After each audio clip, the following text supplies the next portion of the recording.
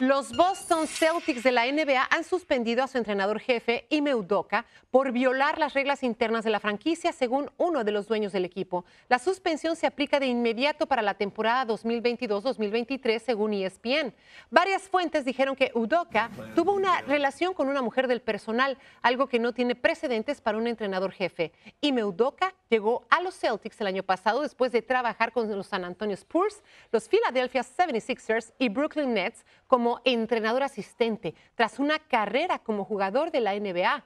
Udoka se ha disculpado por haber puesto al equipo en esta situación difícil y acepta la decisión de suspenderle.